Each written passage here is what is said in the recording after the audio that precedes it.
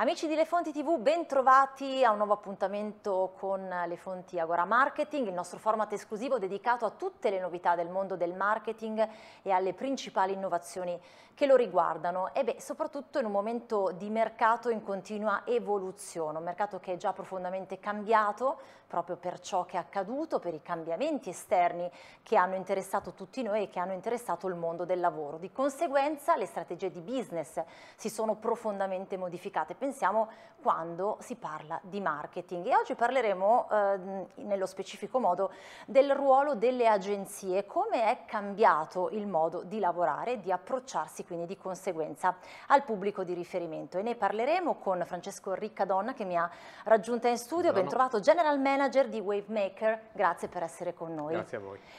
Allora Francesco, io direi di fare una bella introduzione proprio per spiegare al nostro pubblico um, sulla condizione delle agenzie di mercato, per capire un po' lo stato dell'arte, mettiamola così, dare una fotografia per poi addentrarci nei singoli riferimenti eh, che abbiamo dato come premessa. Senz'altro. Partirei dicendo che questo è, un mondo, quello delle agenzie, che ha subito eh, una trasformazione enorme e, sostanzialmente un, un, big bang dovuto al, ovviamente alla trasformazione digitale che è avvenuta negli ultimi 15 anni.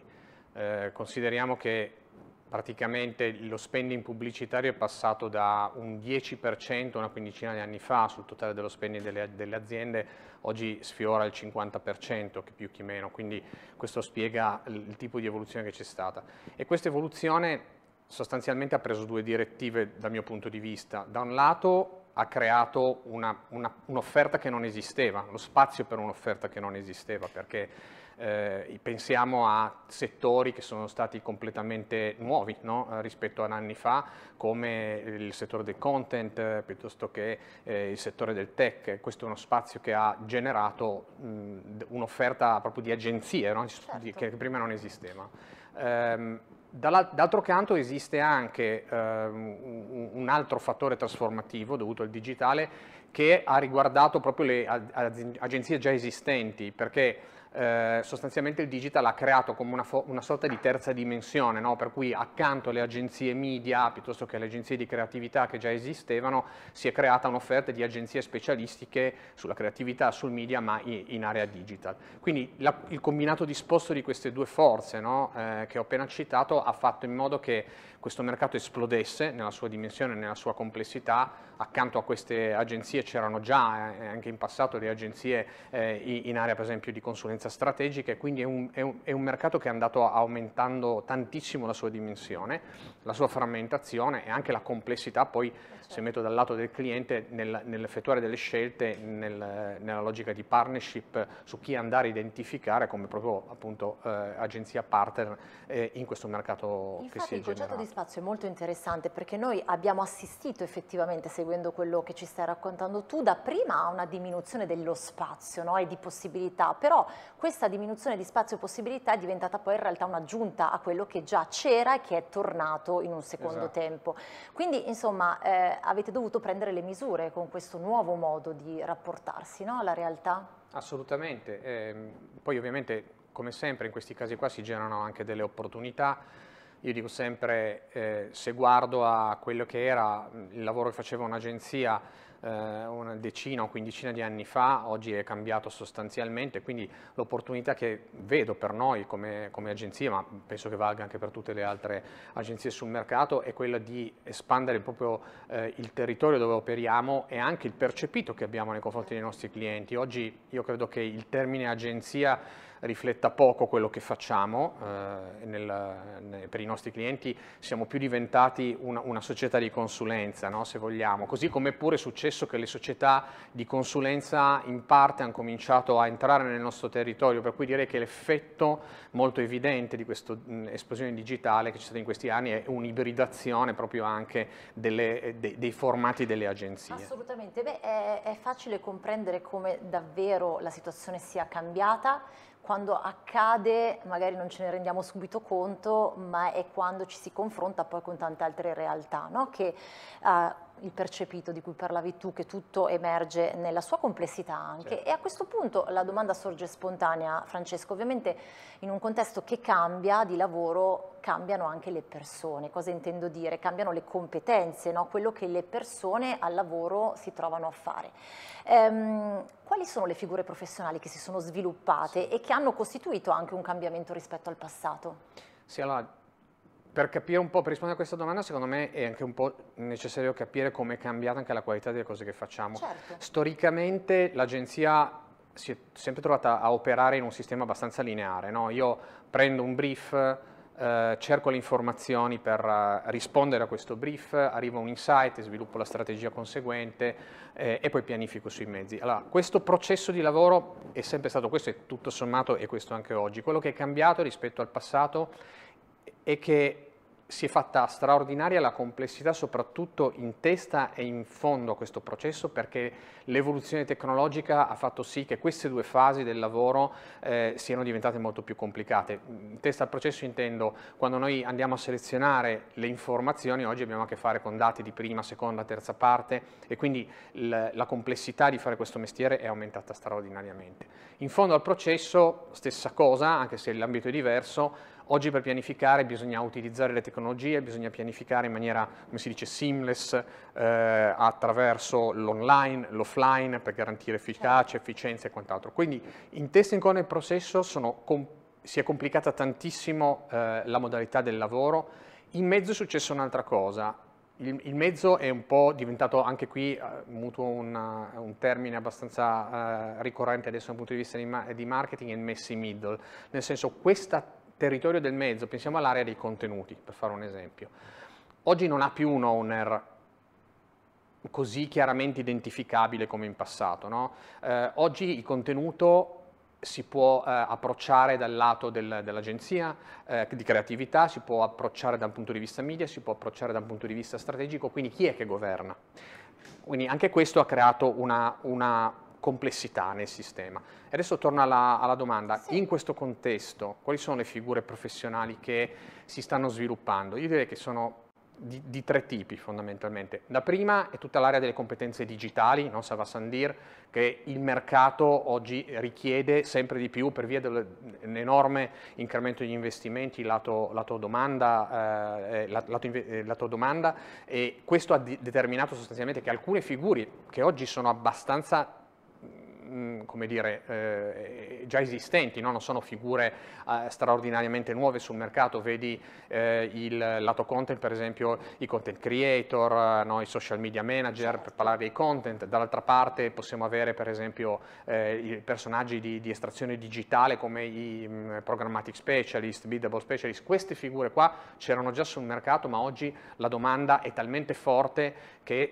letteralmente vanno a ruba. Questo anche perché poi nelle aziende cosa succede? Che in questo momento stanno cercando di internalizzare queste, queste figure e quindi queste sono figure che vanno ancora più a ruba.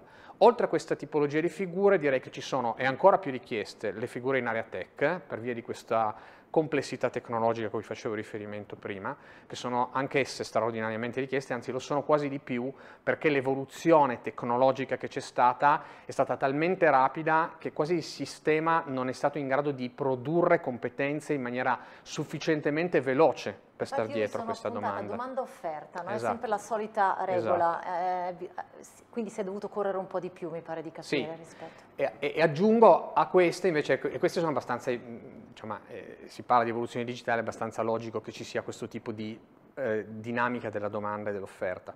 Un po' meno evidente è la terza tipologia di figure che noi vediamo eh, diventare sempre più importante. È una, è, una, una, domanda quasi latente oggi, ma che io credo che si eh, manifesterà sempre di più nel prossimo futuro, che è quella delle figure eh, che fanno della progettualità eh, la, la, propria capacità principale. Sono quelli che noi chiamiamo i T-shaped, no? con le mm-hmm. persone che nascono con una competenza verticale forte, ma alla quale poi sommano la capacità di gestire una complessità.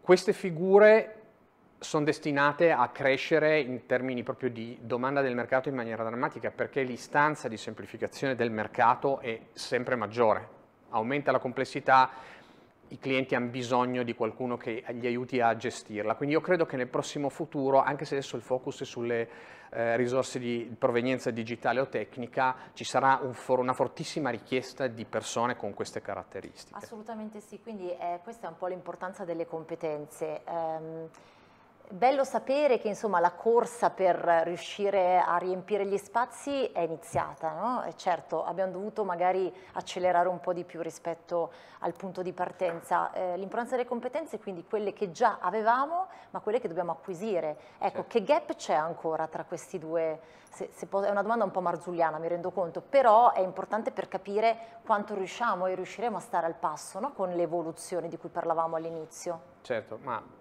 Beh, ovvio che oggi non, è, non, è, non basta avere delle competenze, direi che è quasi più importante avere la capacità di sviluppare queste competenze. Questo perché è un, è un mercato, è un mondo che va talmente veloce che la competenza specialistica dura pochissimo. Eh, noi, cioè quello che impariamo oggi domani è già assolutamente. Noi per intenderci. Sappiamo che nel giro di cinque anni il nostro mondo, che è già nel pieno di una trasformazione importantissima e velocissima si sarà trasformato completamente, sarà completamente digitalizzato. Quindi io credo che oggi sia importante, quello che cerchiamo noi nelle persone fondamentalmente sono tre cose. Una è una flessibilità eh, molto forte, perché bisogna essere in grado di eh, muoversi in continuazione, cercare nuove competenze, come dicevo prima, sviluppare nuove competenze questo è sostenuto dalla curiosità, che è la seconda caratteristica, e poi non deve mancare una terza caratteristica che dal nostro punto di vista è la, anche l'attitudine a usare. Ecco, questa è una cosa molto importante. No? Eh, noi ci stiamo lavorando, eh, con le nostre persone eh, tantissimo, ci lavoriamo in termini di formazione sicuramente, eh, perché come dicevo prima dobbiamo fare in modo che le persone si di digitalizzino, che apprendano queste competenze anche di ehm, progettualità, di managerialità, che non sono così scontate e questo vale anche per le persone di estrazione digitale. Cerchiamo di metterle nelle condizioni di essere il più possibile ehm, eh, in una situazione dove lo scambio di competenze sia, sia, sia reso eh, facilitabile, facilitato. Di solito queste situazioni qua sono eh, le situazioni di gara, per esempio, in cui noi cerchiamo di smontare e montare dei team fatti di competenze diverse e quindi sostanzialmente fare in modo che ci sia quasi una contaminazione sistematica, in modo che le persone apprendano una dall'altra. E ultimo, ma non ultimo, cerchiamo di lavorare il più possibile eh, nel creare una cultura dell'usare. In Waymaker noi abbiamo una, un mantra che si chiama chiamiamo positive provocation e sostanzialmente vuol dire avere la capacità di alzarsi, dire la propria opinione no? con coraggio, in maniera positiva. Questo ovviamente presuppone che ci sia una cultura dell'errore, cioè la capacità di poter accettare che l'errore eh, diventi un fattore quasi di miglioramento. Rispetto, no? Più o meno sì. sono due aspetti, no? capire l'errore, rispettarlo e ovviamente superarlo. Esatto, e questa è una caratteristica, se volete, un po' soft, ma che per noi è importantissima e lo è a maggior ragione in un momento in cui si parla di Great Resignation eh, che colpisce soprattutto i pubblici eh, giovani, no? le persone eh, di giovane età, perché non trovano più quella identificazione valoriale nel lavorare in un'azienda che noi forse avevamo no? di un'altra generazione precedente. Quindi per noi è importante offrire dei modelli eh, valoriali che siano magari un po' selettivi, come questo appunto della positive provocation, ma sicuramente anche fortemente identificativi. Insomma, diciamo che dobbiamo uscire dalla comfort zone a 360 gradi, no? esatto. eh, abbandonare le resistenze, osare e soprattutto capire che eh, ci dobbiamo approcciare in modo diverso, magari alle stesse cose che facevamo prima. Infatti ti stavo chiedendo insomma come vi muovete come agenzie, quali ritenete siano i eh, requisiti no, fondamentali sono questi che mi hai detto, esatto. io, flessibilità, curiosità, osare, io li ho riassunti in questo modo, no? però credo che si possa partire da qui. A questo punto, visto che stiamo parlando anche di innovazione, cioè soprattutto di innovazione, modi diversi di lavorare, mi piacerebbe farti una domanda e approfondire il tema legato al metaverso, cioè quali sono secondo voi, vedi, eh, sapevo che in qualche modo te l'aspettavi questa domanda, ma in qualche modo se l'aspettavano sicuramente anche i nostri telespettatori perché se ne parla sempre di più, però eh, visto che abbiamo parlato di errore, spesso si fa l'errore di parlare di qualcosa e di non conoscerla a fondo, no? visto che hai accennato anche alla formazione che è necessaria.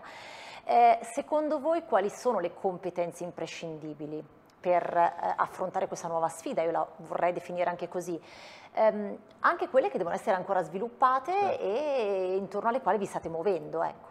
Ma questa è una domanda complicata, perché? Perché il metaverso Adesso non, non, si può fare un, una discussione senza parlarne perché è un po' il talk of the town, no? quindi in questo momento se ne parla tantissimo.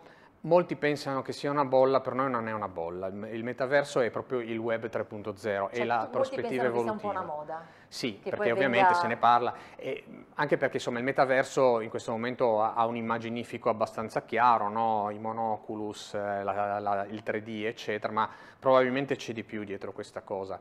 Eh, quindi rispondere a questa domanda è complicato perché è come fare proprio una, una previsione su quelle che sarà saranno le, le, no, le, linee evolutive proprio del, del, del web 3.0. Sì, sì. Però provandoci, io direi che ci sono tre aree, no, anche, soprattutto pensando in una logica di competenze che poi saranno necessarie per, per, andare avanti in questo mondo, ci sono tre aree che secondo me andranno a svilupparsi. La prima, che è un po' quella più evidente, è un po' quella esperienziale, no? cioè il metaverso come, eh, se, se, vuoi, piattaforma eh, no, real time, 3D, eh, persistente, eh, di relazione fra eh, le persone e fra le marche e le persone. Questa è un po' l'area più vicina no? anche a quello che facciamo, l'area un po' più inerente alla comunicazione e al marketing e da qua secondo me ci sarà l'evoluzione verso delle professionalità eh, che hanno a che fare con lo storytelling, che hanno a che fare con eh, la gestione dei contenuti, con la gestione, l'event management proprio, no? quindi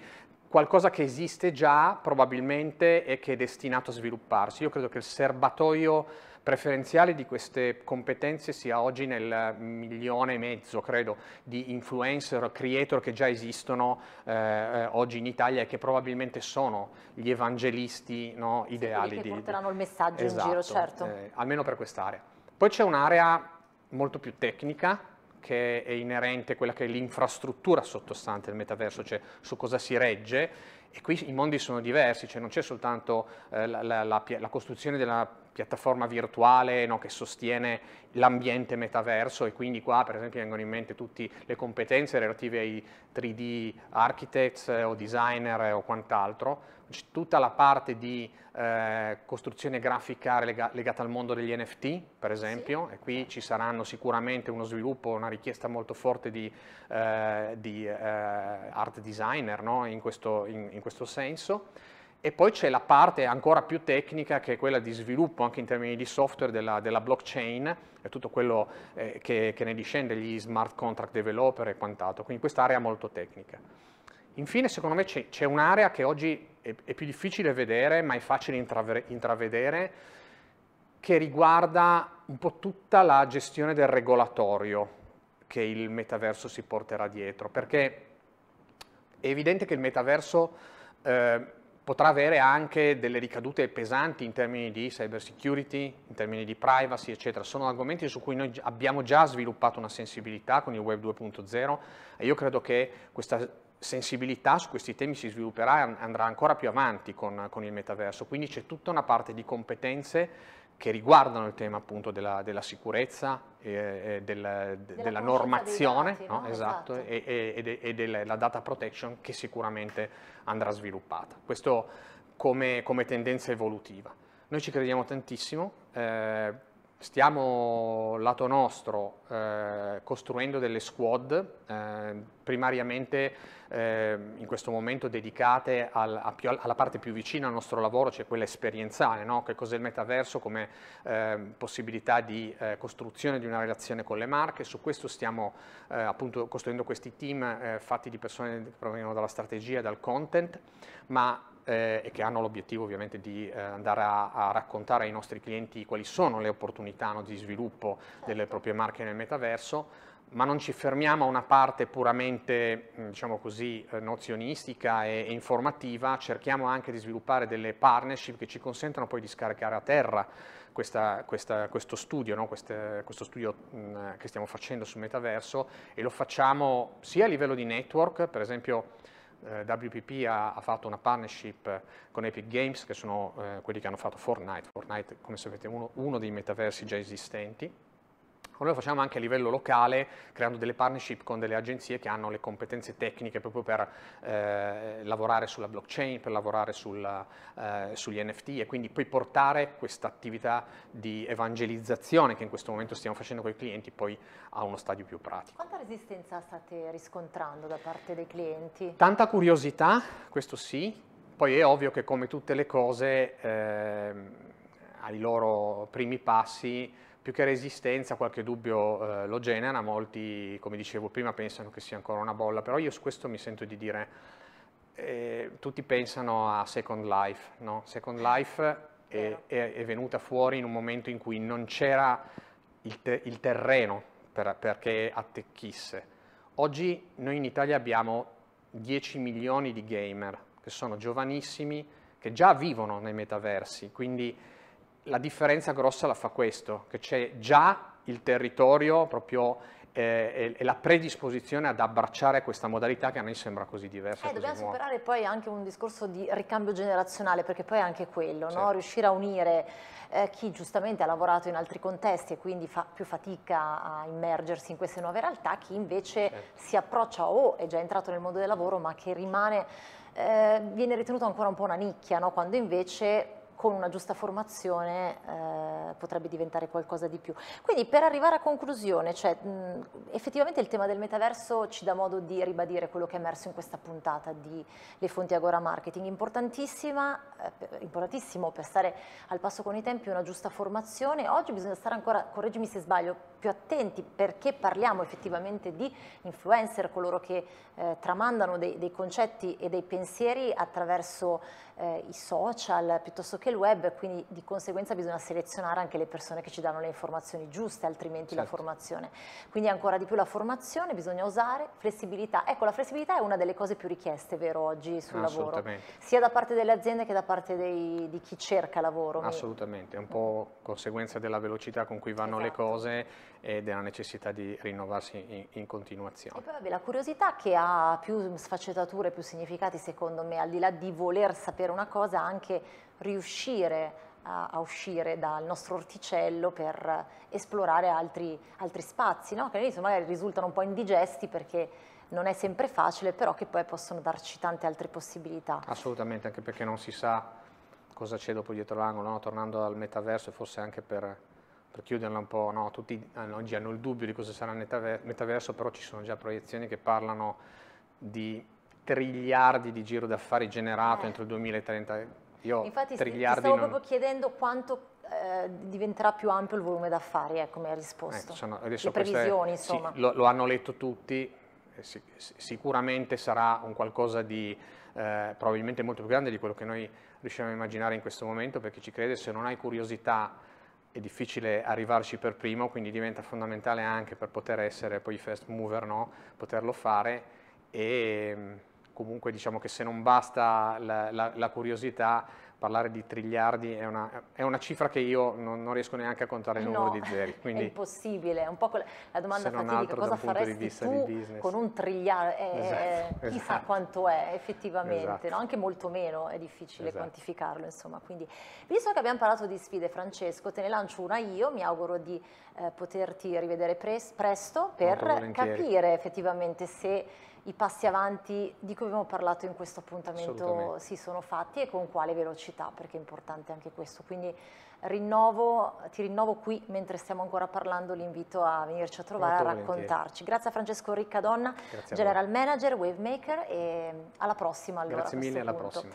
E naturalmente grazie a tutti voi per averci seguiti a questa nostra puntata di Le Fonti Agora Marketing. Naturalmente restate sulle Fonti TV e ci vediamo alla prossima puntata, al prossimo appuntamento. Arrivederci.